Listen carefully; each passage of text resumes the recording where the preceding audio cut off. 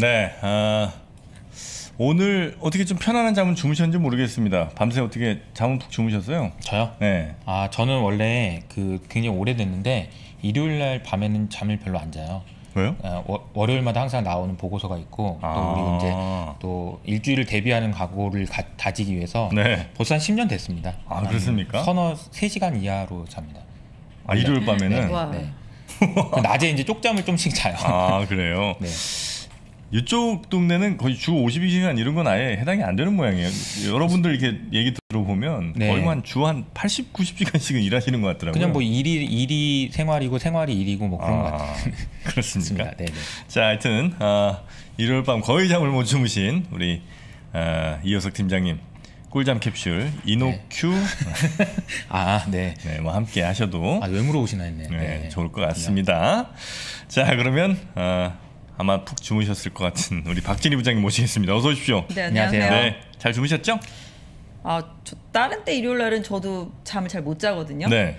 근데 이번 주 일요일 날은 잠을 잘 잤어요. 아 그렇습니까? 아 보낭실 이노큐 덕분이다 이렇게 또 생각하겠습니다. 네.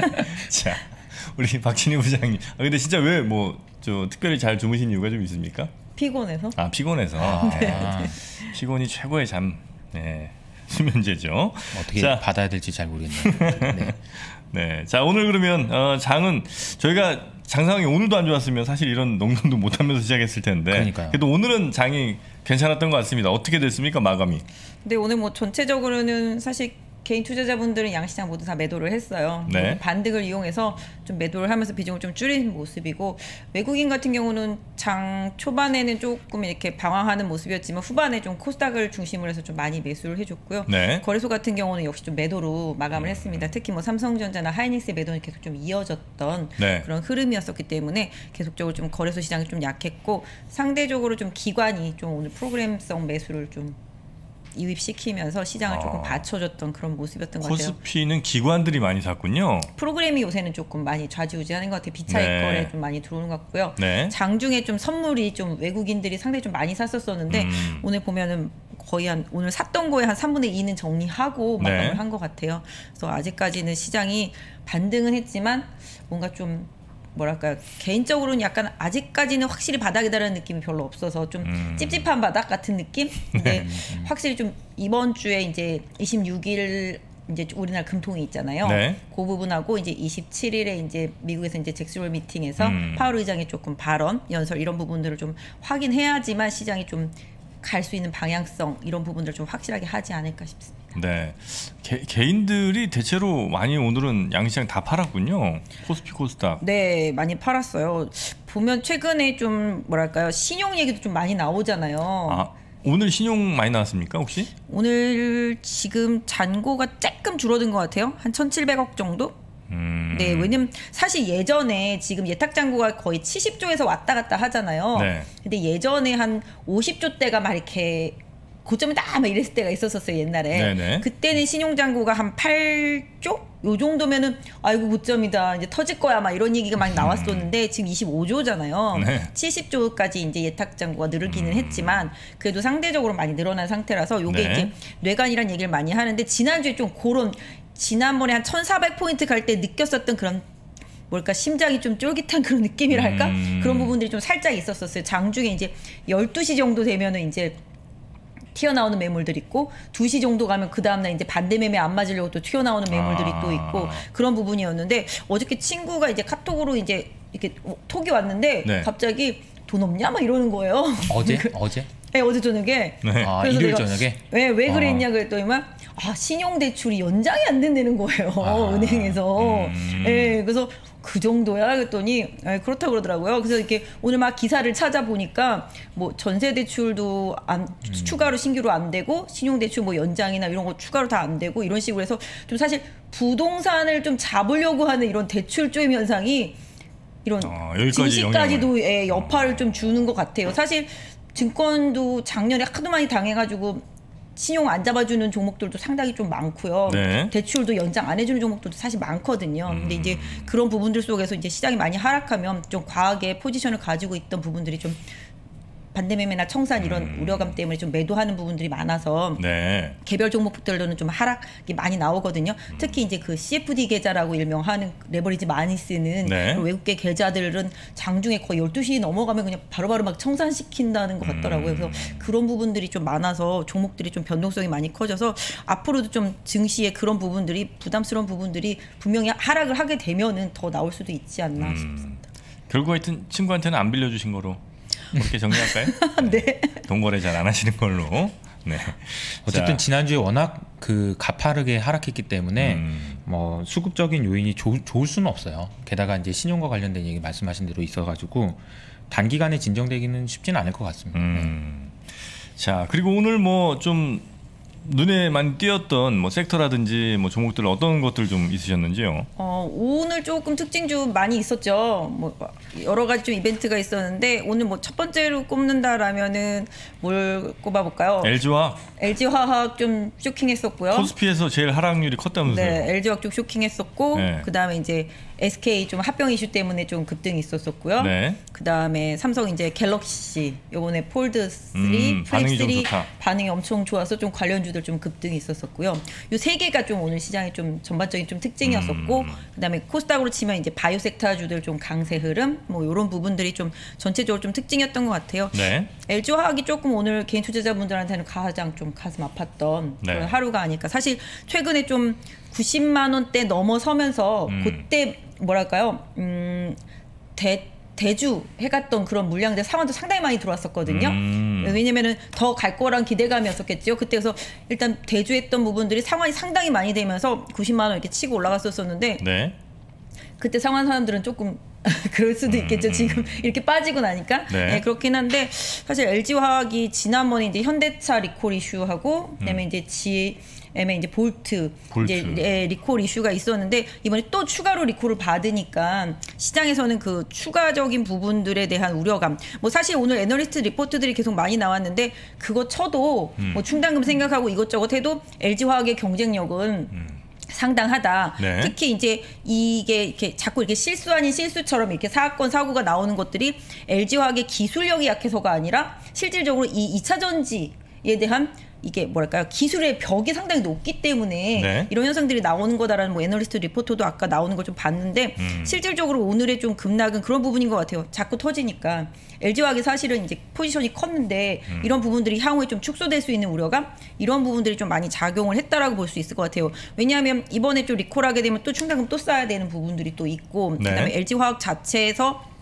최근에 또 화학주들이 워낙 안 좋잖아요. 음. 그런 부분들도 또 있고 그래서 이런 부분들까지 있는데 일단은 뭐 2차 전지 소재주들 최근에 좀 강세 흐름 속에서 좀 나름대로 선전을 하면서 올라가고 있다가 또 한번 이런 리콜 사태가 터지니까 네. 향후에도 또 벌어질지 모르는 미래의 우려감 뭐 이런 부분들도 좀 주가에 공격적으로 좀 작용을 한 것 같고 오늘 주가의 급락은 외국인들 매도세가 좀 주도했던 모습이에요. 네 맞습니다. 네. 반대로 또 SDI랑 또 SK 이노베이션은 거꾸로 선전을 하는 모습이에요. 음. 특히 이제 SDI 같은 경우는 주가 가 최근에 강세를 보이고 LG 화학이 이렇게 많이 빠지다 보니까 시총차가 네. 거의 뭐 10조 대 이상 나던 게 이제 1조 정도까지 시총차가 확 줄어들었거든요. SDI랑 LG 화학이요? 네네 오. 상당히 많이 줄어들었습니다. 그래서 네. 일단은 뭐 SDI하고 이제 SK 이노베이션이 좀 선전을 해줬던 하루라고 볼 수 있겠죠. LG 화학이 56.3조고 어, SDI가 54.8조니까 거의 2조 안쪽으로 네, 좁혀들었네요. 네, 많이 그러니까 줄어들었어요. 이제 사실 보면 LG 화학이 11% 빠졌다 이런 것도 중요한데 시가총액이 그러면은 한 6조 원 이상 날아간 거거든요. 네, 맞습니다, 그래서. 기업의 가치가 하루 만에 6조 원이 날아갔다는 거 정도의 이벤트인지 음. 이게 중요할 것 같은데 이게 제일 중요한 건 말씀해 주신 대로 이게 잘 모른다라는 게 문제인 것 같아요. 네. 이게 어떤 이슈인지에 대해서 자꾸 반복되다 보니까 아 이게 뭔지 모르겠다. 이게 가장 큰 사- 투자자들의 불안이 아니었을까 그런 생각이 드는데 그래도 6조면 좀 많이 어, 빠지긴 좀, 한것 예, 같아요. 과하게 빠진 것 같아요. 근데 요새 시장이 좀 그런 것 같아요. 어느 한쪽으로 자꾸 이슈가 나오면 쏠림 현상이 음. 상당히 강한 것 같아요. 그러니까 이게 정확히 무슨 문제였고 이건 어떻게 하면 뭐 해결될 거다 이런 이제 감이라도 있으면 아, 투자자들도 어느 정도 뭐 정말 팔고 싶으면 팔고 뭐 아니면 말 텐데 이게 뭔지를 정확히 모르니까 훨씬 더 고- 공포심이라도 이런 것 때문에 더 많이 팔았다는 거죠. 그쵸. 예, 네. 앞으로 어떻게 될지 모르는 불확실성. 그런 것도 있고 일단은 좀 LG 전자도 많이 같이 빠졌거든요. LG 전자요? 네, LG 전자가 이제 모듈 쪽을 이제 담당하고 있기 때문에 아. 네 이쪽 LG 전자도 또 충당금을 쌓아야 되는 부분 또 있습니다. 그리고 게다가 에너지 요거- 솔루션이 이제 조만간 IPO 하는데 뭐 시장에서는 일부 이게 지연되는 거 아니냐 이러다가 아. 이런 얘기들도 일부 아. 있었던 것 같아요. 네. 근데 아직 뭐. 확인된 건 아닌데, 아니 그러니까 이제 주가가 이렇게 빠져버리면 이게 이제 그렇죠. 그럴 수 있는 루머들이 거 많이 아니냐. 생산이 될 수는 음. 있겠죠. 예, 그래서 기본적으로 항상 예전에 ESS 화재 많이 날 때 이제 분리막이 항상 문제였었거든요. 네. 근데 요번에도 약간 분리막이 약간 구겨지는 현상 이런 음. 부분들도 좀 많이 나왔었나 봐요. 그래서 이제 GM 쪽에서는 니들 탓이다 뭐 이러면서 이제 나중에 이제 뭐 사고 조사하고 뭐 이제 배상금 이제 뭐 몇 대면 이런 거 나와야 되겠지만 네. 서로 이제 나와야 서 조절을 해봐야 되겠지만 GM 쪽에서는 이제 LG 쪽에 이제 실수, 뭐 모듈 쪽 이런 부분들 실수, 뭐 이런 쪽으로 계속 몰아가는 그런 느낌인 것 같아요. 그래서 뭐 나중에 음. 결과 나와봐야지만 이제 얼마 충당금 쌓아야 되고 서로 이제 배상해야 되는 부분이 생기니까 네. 과거에 현대차 같은 경우는 6대 4였었죠 그때. 예, 그래서 그렇게 해서 이제 서로 나눠서 이렇게 했었었는데 음. 일단 그런 거 가정을 해도 시총 6조가 날라갔다는 건 사실 좀 과하기는 과하죠. 음. 자, LG화학이 그 볼트 관련, 볼트 리콜 관련 어, 해서 이제 많이 떨어졌고 그러면 그 이차전지 관련된 뭐 예를 들면 부품이나 소재 회사들도 네. 좀 힘들었습니까 오늘? 초반에는 좀 빠졌었어요. 어. LG 화학이랑 거래하고 있는 네. 관계사들이 초반에는 좀 많이 약했었는데 후장에 다 만회를 했고요. 음. 포스코 케미칼 정도 하나 좀 살짝 빠지고요. 나머지들은 다 올라와서 플러스권으로 좀 그렇습니까? 마감이 됐습니다. 네. 자, LG화학이 있었고요. 그리고 또 SK가 합병 관련된 이슈로 오늘 좀 셌죠. 네, 맞습니다. 좀 SK 같은 경우가 이제 좀 투자형 지주회사잖아요. 네. 예, 투자형 지주회사다 보니까 뭐 오히려 좀 공격적인 투자도 그동안 좀 많이 했고 일단 음. 주가 자체가 좀 그 사이 동안 좀 지주회사로서 뭐랄까 평가 절하받는 부분들도 상당히 좀 많이 있기 때문에 음. 오히려 좀 자회사들이 좋았음에도 불구하고 그동안 좀 많이 하락을 하고 이제 계속 이제 평행선을 많이 그어왔었었는데요. 음. 이번에 이제 SK 머티리얼즈를 이제 합병을 하면서 뭐 물론 물적 분할을 하고 이제 홀딩스랑 이제 합병을 할 예정인데 그런 부분들로 인해서 뭐 시장에서는 이제 기대치가 좀 많이 올라가면서 앞으로 이제 반도체하고 이제 2차 전지 소재 쪽들 이쪽 부분들을 중심으로 해서 핵심 사업을 조금 이제 강화시킨다라는 측면에서 시장에서는 좀 상당히 좀 긍정적인 모습들이 좀 나타났던 것 같아요. 물론 뭐 SK 머티리얼즈 같은 경우는 뭐 주가가 어느 정도 딱 이렇게 뭘까 매수 청구 가격이 있기 때문에 41만 한 6천 원 정도의 매수 청구 가격이 있기 때문에 뭐 그 SK 머티리얼즈를 가지고 계신 투자자분들은 사실 크게 손해 볼 거는 없어요. 그 가격에 나 마음에 안 들면은 이제 나중에 매수 청구를 해버리면 되니까. 네. 근데 현재로서는 이제 1대 1.58로 해가지고서 SK 주식을 향후에 좀 주게 되면 사실 SK 머티리얼즈 주주 같은 경우도 나중에 좀 배당도 상당히 좀 많이 올라가고 음. 지금은 한 연간 한 4천 정도 받던 4천 원 정도였었다라면은 향후에 합병하게 되면 한 만 천 원대 이상을 받게 되니까 음. 배당 메리트도 올라가고 또뭐 여러 가지 면에서 이제 SK 머티리얼즈 주주들은 처음에 조금 기분 나쁘셨을 수도 있겠지만 네. 지금 현재만 놓고 본다라면은 어차피 SK가 올라가면은 같이 올라가는 부분이 생기고요. 네. 어차피 비율이 있으니까 음. 그런 부분들이 생기고 반대로 빠지면 나는 매수 청구를 해버리면 되니까 SK 머티리얼즈 주주한테도 뭐 큰 손해 나는 그런 음. 현재 상황은 아니라고 보시면 좋겠고 SK 같은 경우도 이제 계속 이제 계열사들을 좀 수직 계열하라고 하고 뭐 오늘 나온 레포트만 보면은 뭐 나중에 차후에 이제 LG 실트론이랑도 뭐 합병을 일부 머티리얼즈랑 할 수 있는 비상장으로 떨어뜨려 놓은 상태에서 그 종목들은 할 수도 있지 않겠나 뭐 그런 포석이 아닌겠는가 뭐 그런 레포트도 내용이 나왔었는데요. 그거는 뭐 향후에 좀 봐야 되겠지만 뭐 지금의 SK는 상당히 그 ESG에 딱 맞게끔 계속 기업을 좀 재편해 나가고 있는 그런 상황인 것 같아요. 그래서 미래에 좀 신재생 에너지 관련이라든지 네. 뭐 미래의 가치를 포함할 수 있는 그런 여러 가지 투자 이런 쪽을 계속 하면서 또 자회사들 간의 이제 합종 연행을 계속 좀 음. 이어가고 있는 모습인 것 같아요. 네. 두 회사 중에는 어, 누가 더 이익이고 누가 더좀 더 손해고 뭐 이런 이런 게 있습니까? 아니면 뭐 비슷비슷합니까? 지금 뭐 봤을 때는 뭐 거의 뭐 지금 현재 딱 전날 종가를 해가지고 딱 비율을 계산해 놓은 거라서 1대 뭐 1.58뭐 에. 이런 식으로 합병 비율이 나왔는데 손해 손해 아니고 요거보다는 근데 근데 시장에서 볼 때는 SK가 조금 더 이득이다. 왜냐하면은 아. 좀 예, 신성장 동력을 바로 이제 흡수한 상태가 되기 음. 때문에 그런 부분들에 대해서 좀 평가를 좀 더 좋게 해주는 것 같아요. 근데 이제 SK 자체가 좀 너무 좀 무거워가지고 그동안 상당히 많이 조정을 많이 받았었거든요. 네, 근데 네. 뭐 그 SK 주식을 좀 장기 투자하시는 분들이라면은 뭐 요번 건으로 인해서 좀 긍정적인 부분들이 좀 있겠죠. 그래서 일단 12월 달까지 이제 합병 마무리가 되니까 또 중간에 또 거래 정지 기간이 있으니까 두 회사를 좀 투자하시는 분들은 조금 그런 부분들 좀 날짜를 좀 챙겨 보셔야 될 것 같아요. 네. 그 SK가 예를 들어 이렇게 인수를 하면 뭐 예를 들면 ESG 어, 시각으로 바라보면 이거는 더 플러스 요인이에요? 아니면 뭐 그럴 건 없습니까? 글쎄요, 뭐 ESG 뭐까지 이렇게 연결해서 보기는 좀 어- 쉽진 않은데 지배 구조도 또 결국 좀 약간 포함되는 뭐거 지배? 구조를 개선하려는 장기적으로는 그런 모습이겠죠. 네. 근데 이제 보면은 SK가 어 그러니까 어, 오늘 기준 어, 제 어제 종가 기준으로 SK가 시가총액이 18조였고 네. SK 머티리얼즈가 한 4조 정도 됐었어요. 음. 근데 이 회사들이 가지고 있는 자본을 보면은 네. SK는 한 16조 정도. 그리고 SK 머티리얼즈는 0.3조입니다. 네. 그러니까 이게 SK 머티리얼즈의 성장성을 굉장히 시장에서 높게 봐줬고 SK는 에이 뭐 이런 분위기였는데 음. 둘이 합치는 거죠. 그러면서 이제 서로 시너지가 얼마나 날지 이런 부분은 좀 어, 지켜봐야 되는 부분이긴 한데 음. 제가 또 이제 뭐 공교롭게 또 SK 증권이잖아요. 그래서 이제 근데 SK를 이렇게 지켜 오랫동안 지켜보면은 네. SK는 SK 하이닉스를 산 이후로 네. 계속해서 뭔가를 사서 사업 영역을 계속 확장해 나가는 그런 음. 모습을 보였습니다. 그래서 아마도 이 합병 이후에도 사업 회사 관련된 이런 합병이나 이런 부분들도 네. 진행될 거다 이런 기대감이 아마 오늘 시장에 좀 반영이 된 걸로 음. 알고 있습니다. M&A를 상당히 좀 공격적으로 하는 기업인 것 같아요. 아까 그 머트리얼즈도 산 거잖아요. OCI에서 산 거고. 아. 네, 시- 실트론 같은 경우도 LG에서 산 맞아요. 거고. 네. 음. 근데 개인적으로 그 M&A를 하시는 분들을 좀 이제 알게 됐는데 음, 네. 그분들을 만나면서 제가 느낀 느낌은 음. 아 제가 본 사람 중에 진짜 제일 똑똑하다. 눈에 불이 켜져 있어요. 어, 저 정말 뭔가를 사기, 사기 위해서 어. 떤 기업을 살까, 어떤 기업을 사면 우리가 가지고 있는 회사와 더 시너지를 낼 수 있을까. 그래서 음, 뭐 잘 될지 안 될지 이런 거는 또 모르겠지만 음, 사는 것도 그러니까 고기도 먹어봐야 알잖아요. 네. 그런 것처럼 사는 것도 사봐야 안다. 어, 음. 이런 생각이 듭니다. SK증권이랑 SK그룹하고는 좀 어 관계가 없습니다. 관계 없죠? 네. 네. 이름은 SK. 관계가 없습니다. 네. 자, 그렇게 오늘 SK도 있었고 또 어떤 종목이 있었습니까?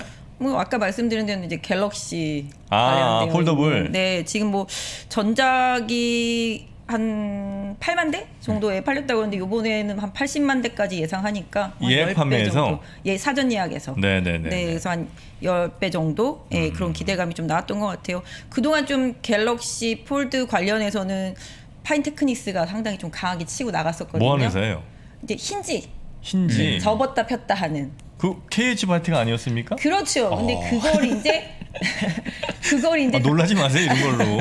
아 이게 종목이 바로바로 나오시네요. 아, 제가 한번 들어갔었었거든요. 아, 그렇구나. 네, 역시. 폴드 2 네. 시절에 제가 들어가갖고 네. 시원하게 또 한번 이렇게 아. 말아먹고. 아 근데 이제 나왔죠. 그거를 이제 파인테크닉스가 좀 많이 치, 뺏어 오면서 아, market share를? 예, 예, 예. 그래서 KH 바텍이 좀 많이 다운됐었는데 오늘은 좀 많이 올라오더라고요. 예. 그래서 그거 하고 그다음에 이제 그 화면에 이제 카바 이게 보면 이렇게 이 덮개 카바 만드는 예, 예, 이제 예, 세경 하이테크가 오늘 예. 좀 많이 올라왔고 그다음에 이제 flexible 이제 안에 예. FPCB 하는 이제 인터플렉스 같은 경우도 네네네. 좀 많이 올라오면서 아. 관련주들이 좀 흐름이 좀 많이 아, 나왔어요. 폴드를 쓰고 계시는군요. 그렇습니다. 네. 아, 네. 근데 이게 요번에 건 좀 가격이 좀 싸게 나온 것 같더라고요. 저는 네, 이제 맞아요. 200만 원대가 이제 넘는 건데 음. 요번에 좀 가격도 싸고 기능도 좀 좋아지고 제가 정확하게 못 봤는데 이렇게 펜 기능도 있는 것 같더라고요. 음. 네, 펜 넣습니다. 그러니까 저도 이렇게 화면은 큰데 뭐 좀 쓸 수 있으면 좋겠다라는 좀 생각을 했었는데 아. 예, 그런 게 있으니까 좀 더 좋은 기능이 있을 것 아. 같고 뭐 여성 분들은 플립 같은 거 되게 좋아하잖아요. 그렇죠. 예, 네. 그런 부분들도 상당히 좀그 예쁘게 쓰시면 나오고. 좀 무겁지 않으세요? 이게 손목이나 이런데. 아 좀. 터널 증후군 좀 올 수 있는 가능성이 좀 그러니까 있습니다. 지금 조금 무겁다고 하더라고요. 얼마를 평가가. 아니 그래도 계속 들고 있어야 되니까. 이게 좀볼 때 힘들어요. 무거워서. 음. 아, 무거워서 힘들어요. 네. 이번에 아마 가- 무게도 좀 가벼워진 것 같긴 하더라고요. 네, 그리고 살짝 좀 얇아지기도 했는데 이게 음. 좀 무겁고 이게 어 근데 유튜브 볼 땐 좀 좋아요. 음. 어. 화면이 커서 어, 그러니까 이제 PPT나 보고서 볼 때도 좋다고 네, 하더라고요. 보고서 볼 때 일단 좋아요. 그래. 저 이제 텔레그램 같은 거 통해서 이제 리포트 많이 보는데 네. 그 기사를 보려면 이제 화면이 되게 작았었는데 이게 화면 자체가 이렇게 크니까 이 네. 전체 화면에 다 나오니까 네. 노안이 오고 있는 저한테는 되게 좋더라고요. 네. 네. 폴더블 광고하시는 건 아니고. 홍보 그만하시고. 아 그런 건 아닌데 아무튼 그 삼성이 요새 반도체를 좀 많이 약했었는데 네. 요 부분이 약간 조금 시장에서 조금 다르게 보는 시각적인 부분이 좀 있는 것 같아 서 좀 말씀을 드렸고 이제 코스닥에서 이제 부품주라든지 뭐 이런 IT 섹터주들이 좀 많이 안 좋았잖아요 최근에 근데 요런 부분들을 좀 기반으로 해서 오늘은 조금 IT 섹터 내 부품주들 뭐 장비주들 뭐 이런 부분들도 다 이제 좀 활기가 넘치는 것 같아서 그냥 한번 말씀을 네, 드렸습니다. 네. 근데 이게 저 우리는 이제 폴더블 광고도 워낙 많이 보고 이제 삼성에서 벌써 세 번째 이렇게 만들다 보니까 폴더블에 대해서 뭐 모르는 사람 당연히 그러니까 누구나 한 번은 이제 봤을 거고 네. 그리고 이제 얘기도 뭐 이것저것 건너 건너서 이렇게 많이 들으셨을 텐데 외국에서도 이런 관심들이 좀 있는지는 잘 모르겠어요. 외국에서 반응이나 이런 것들이 어느 정도인지를 전혀 감을 못 잡겠더라고요. 지금 왜- 봤을 때는 나쁘지는 않았던 것 같아요 최근에. 네, 음. 계속 그리고 뭐 누가 먼저 이제 더 그런 쪽을 예전에는 막 이렇게 먼저 하느냐 뭐 이런 것도 있었습니다만은 LG 전자가 지금은 좀 접었습니다만 이제 롤러블 폰도 이제 계속 이제 얘기가 나왔던 상태고 음. 그러니까 IT 기기는 뭐라 그럴까요? 그냥 멈춰져 있으면 새로운 매출을 만들어내기 되게 힘든 것 같아요. 먼저 좀 새로운 거를 좀 만들어내야지만 매출이 계속 늘어나는데 지금 이제 코로나 때문에 이제 좀 경기도 안 좋고 전체적으로 IT 기기 소비도 좀 안 좋고 이런 부분들이 사실 반도체까지도 계속 막히는 부분들인 거잖아요. 네. 그래서 이런 부분들이 좀 잘 나오고 또 애플에서도 이제 아이패드 또 신형도 나오고 이제 아이폰 신형 나오는 거 이런 부분들이 좀 매출이 계속 좀 좋아지면은 기본적으로 좀 반도체에 좀 우려했던 부분들도 나중에 좀 풀릴 수 있는 부분들도 있어서 실질적으로 IT 기기라든지 물론 차량용 반도체도 문제가 되겠습니다만은 기본적으로 반도체 쪽들이 계속 좀 풀려 나가려면은 결국은 이런 쪽 IT 기기 쪽에서 좀 매출이 많이 발생해 주는 것들이 네. 어떤 면에서 보면 좀 선순환의 구조가 아닐까. 뭐 많이 만들어놨는데 소요가 안 되면은 소용이 없는 거잖아요. 음. 그러니까 기본적으로 이렇게 좀 막혀 있던 부분이 어느 쪽에서 좀 뚫려준다라는 쪽에서 본다라면은 네. 이런 새로운 제품의 인기를 끄는 이런 부분들은 뭐 소비자 입장에서 봤을 때 아니면 또 투자자 입장에서 봤을 때 뭔가 하나의 좀 전환점이 될 수도 있지 않을까 네, 싶습니다. 네. 혹시 어, 예를 들어서 이제 어, 워낙 적은 대수가 나가면 어쨌든 삼성에서도 그 부품사들한테 돈은 주긴 주겠지만 어, 많은 이익은 못 안겨줄 거 아니에요. 왜냐하면 야 우리도 이거 손해 보고 다 파는 거야. 그냥 우리 테스트 하는 김에 너네도 뭐 이렇게 이걸로 남길 생각 하지 마. 다른 건 또 다 줄게. 뭐 이렇게 갈 거 아닙니까? 보통 그냥- 이게 그 CR이라고 하죠. 그래서 네, 아? 맞아요. 네, 네, 코스트를 깎아라. 아, 그러니까 그럴 것 같은데 네, 맞아요. 어느 정도 이상이 되면 그래도 아 좋아 뭐 이번엔 그래도 뭐 좀 괜찮았네요 뭐 이러면서 이제 좀이 부품 회사들한테도 좀 이게 돈이 돌아갈지 뭐 기준이란 게 혹시 있습니까 예를 들면 뭐 천만 대 넘어가면 아 이 정도면 충분히 이제 부품사들도 괜찮다 뭐 이런 기준은 정확하지는 않겠죠 음, 어느 정도 저도 될까요 그것까지는 정확하게는 모르겠는데 네. 과거에 아까 말씀하신 대로 항상 삼성이 욕을 먹는 게 음. 그런 것들이거든요. 좀 잘 된다 싶으면 계속 깎거든요. 부품 음. 단가를 네. 계속 하향 조정하고. 근데 많이 팔게 될 때는 별로 그런 게 없어요. 근데 이게 많이 팔리다가 음. 좀덜 팔리기 시작하면은 그때부터 이제 컷을 하기 시작한단 말이에요. 네. 사실 많이 팔릴 때는 삼성 같은 경우가 야 너네도 한번 증설해봐. 음. 우리가 더 많이 사줄게. 이런 식으로 계속 증설 증설 증설을 계속 요구한 다음에 이제 증설을 다 해놓고 이제 많이 만들 채비가 됐는데 막상 제품이 이제 어느 정도 많이 팔리고 나서 더 안 팔리는 데가 되면 야 이제 단가 줄여 단가 줄여. 그러면 이제 부품 업체들은 이미 다 증설 투자 다 해놨는데 단가 줄이라고 그러고 그러면서 좀 망가진 기업들도 많이 있었었어요 사실 과거에 음. 그래서 삼성이 항상 그런 부분에 있어서 욕을 많이 먹고는 있죠 그래서 네. 아무튼 그런 부분이 잘 안 되려면 제품이 많이 팔릴 때까지는 괜찮아요. 근데 이제 저는 항상 그래서 네. 어느 기업이든지 간에 증설을 할 때가 항상 좀 리스크인 것 같아요. 증설이라는 거 그 자체가 리스크인 것 같아요. 부품 음. 업체들 같은 경우는 항상.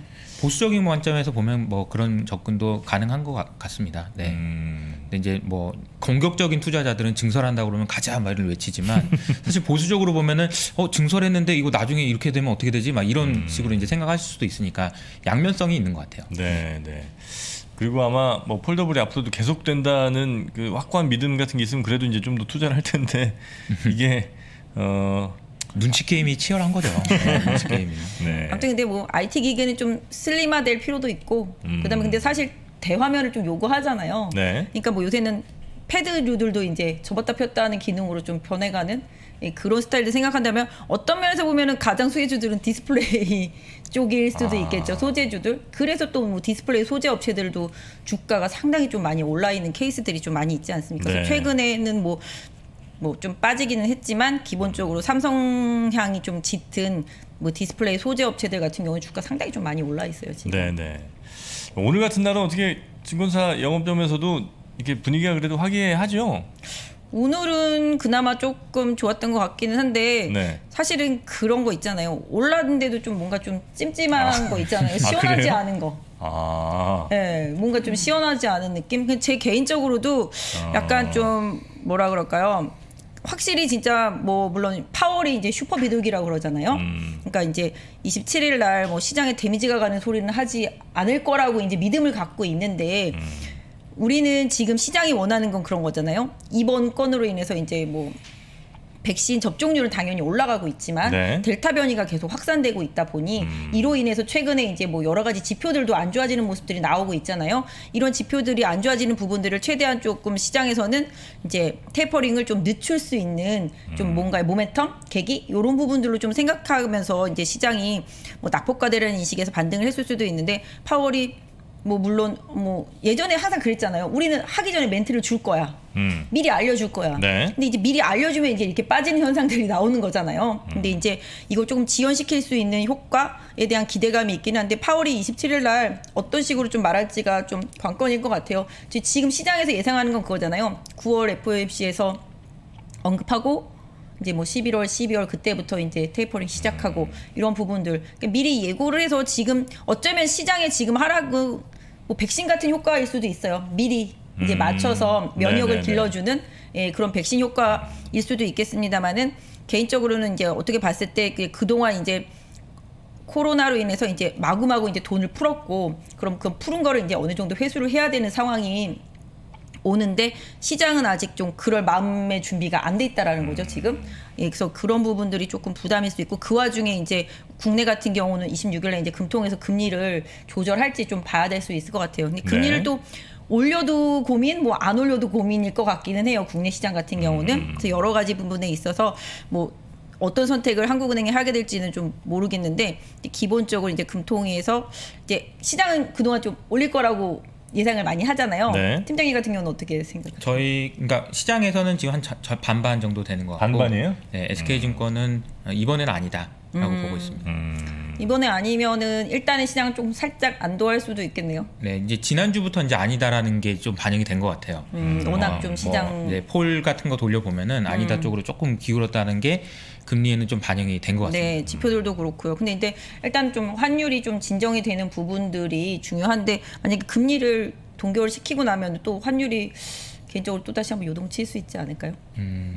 글쎄 뭐 환율을 예측하기는 굉장히 어려워서 네, 이미 네. 또 많이 올랐으니까. 네, 그거는 맞는 말씀이신데 아무튼 요런 환율 문제 같은 경우도 다 미국에 서 이제 파월 의장의 입에서 시작되는 부분들 네, 네, 어떻게 일것. 같아요. 근데 이 달러 강세를 조금 거스르기는 좀 어렵지 않겠나라는 게 좀 대세론인 것 같아요. 지금 아, 현장 현재 약간, 상황에서. 약간 이쪽으로 환율을 대체로 보시는군요. 달러 강세는 계속적으로 이제 음. 왜냐면 테이퍼링이 됐던 나중에 이제 금리 인상까지 연결된다 치면은 지금의 수준에서의 이제 저금리 시대는 이제 서서히 조금씩 그러니까 금리가 현저하게 낮았던 수준을 지금 정상화 시켜가는 과정인 거잖아요. 정상이었었는데 그걸 업을 시키는 게 아니잖아요. 음. 다운 시켰던 부분을 이제 정상화 시켜 나가는 과정인데 시장은 이제 그마저도 이제 지금 싫어하는 거죠. 지금 현재 상황에서는. 음. 근데 이제 여러 가지 경제적인 부분들을 좀 본다라면은 지표 들이 막 좋아지다가 약간 좀 꺾이는 부분들이 많이 보이니까 네. 그런 부분들을 좀 도와주려는 뭐 파월 의장의 좀 립서비스나 여러 가지 행동들이 좀 나오게 된다라면은 음. 최근에 좀 시장 하락은 어느 정도 좀 안정을 잡을 수 있을 거라고 보고 있지만 그런 부분들이 조금 강하게 나오지 않는다라면은 시장 자체는 앞으로 뭐 여러 가지 지표 변화에 따라서 좀 변동성을 많이 보일 수 있기 때문에 마냥 좀 오늘 올랐다고 해서 행복해할 상황은 아닌 것 같아요. 제가 오늘 차트란 차트를 이렇게 다 봤는데 네. 너무 급락해서 기술적으로 올라온 부분이지 이게 좋아지기 위해서 뭐 이렇게 그런 거 있잖아요. 이렇게 좋아지기 위해서 이렇게 도듬답게 하려고 하는 그 순간의 그 느낌이 아니라 너무 많이 빠져가지고 바닥에 음. 쯤이라는 느낌 때문에 그냥 살짝 튕겨오른 정도의 느낌이지 뭔가 이렇게 정상화될 수 있는 차트의 흐름이 많지는 않더라고요. 또 네네. 주도적으로 가고 있는 종목들이 좀 많이 있기는 하지만 뭐 2차 전지 섹터라든지 뭐 바이오 일부 개별주라든지 이런 부분들은 좀 추세가 강화된 종목들이 많이 보이기는 하지만 대부분의 뭐 경기 민감주라든지 뭐 시총 상위 종목도 마찬가지게 되겠고 대체로 경기 둔화에 대한 우려감을 다 많이 반영하고 많이 차트든 차트로만 봤을 때는 좀 많이 망가진 상태라서 네. 이 차트를 강하게 다시 되돌리려면은 뭔가 획기적인 정책적인 부분들이 나오지 않는 이상은 시간을 좀 많이 투자해야 되는 부분이 좀 많이 있을 것 같아요. 네. 자, 하여튼 오늘 뭐 오르긴 했지만 음, 전체적인 분위기가 시원하게 기분 좋다기보다는 조금 찜찜한 그게 어, 앞으로 또 여러 가지 이- 이벤트들이 남아 있는데 그게 결코 이렇게 썩 에, 호의적이지 않을 이벤트들이 많기 때문에 거기에 대한 불안감이나 이런 것들 때문에 에, 오르긴 올랐으나 아주 시원하게 기분 좋아하긴 좀 어려웠던 그런 시장이다. 뭐 네. 결국은 뭐 이제 파월 의장한테 매달려야 되는 시장인 것 같은 느낌, 미국에 매달려야 되는 느낌, 뭐 음. 이런 부분인 것 같아요. 알겠습니다. 자, 오늘 시장 마감 상황 저희에게 전해주신 분은요 유안타 증권의 박진희 부장님이었습니다. 오늘 고생 많으셨습니다. 고맙습니다. 네, 감사합니다. 감사합니다. 무더운 여름 바캉스 대신 함께 공부해 보는 거 어떤가요? 무더위를 한 번에 날려줄 cool summer 여름 특가 반값 세일 박병창의 매매 기술을 연불리의 친절한 주식 기초 교육을 신규 구매하시면 평소 듣고 싶던 강의를 50% 50% 할인된 가격에 수강하실 수 있습니다. 네이버에서 페이지 2를 검색하세요.